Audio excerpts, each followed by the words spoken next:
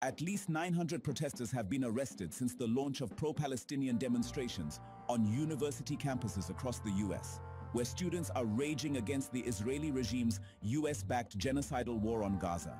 The Washington Post reported the tally on Sunday, the 10th straight day of the protests that began after Columbia University set up an encampment to demand cessation of the war and press the school to divest from Israeli financial interests. The crackdown then started when university authorities called in the police, a move that sparked more than 100 arrests on the university's Manhattan campus. Two other highlights in the crackdown saw police forces rounding up roughly the same number of people at New York University and Emerson College in Boston. Protests have also erupted across numerous other seats of learning, including Brown University in Providence, Rhode Island, the University of Michigan in Ann Arbor, Massachusetts Institute of Technology in Cambridge, and California State Polytechnic in Humboldt. The ensuing countrywide counter-campaign of suppression has seen law enforcement resorting to riot control methods against the protesters.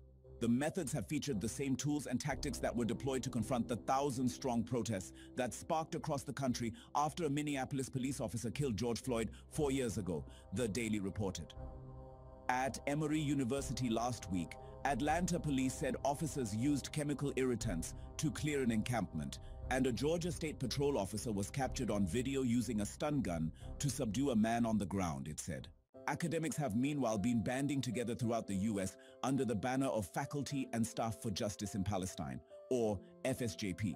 Earlier in April, the FSJP's Georgia chapter called on Morehouse College in Atlanta, which invited Joe Biden as its 2024 commencement speaker to rescind its invitation as a means of objecting to the president's role in enabling the Israeli genocide. At Biden's behest, the United States has been providing the Israeli war with unreserved military and intelligence support. The U.S. has also vetoed several United Nations Security Council resolutions calling for an immediate ceasefire in the brutal military onslaught that has so far claimed the lives of at least 34,454 Gazans, mostly women and children. The displaced people of Gaza have written graffiti on their tents, thanking students at American universities who joined the nationwide Gaza protest encampment movement.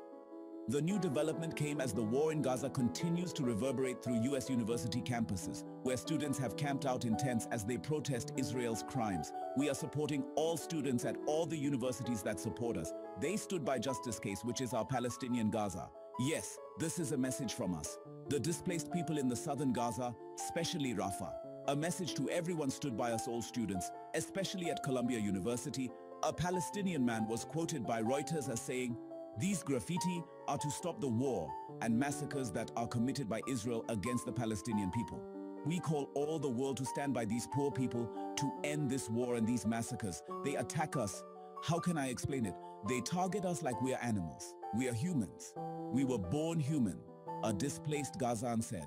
Pro-Palestinian groups have called on universities to end investments in companies that support or profit from Israel's military actions in the occupied Palestinian territories.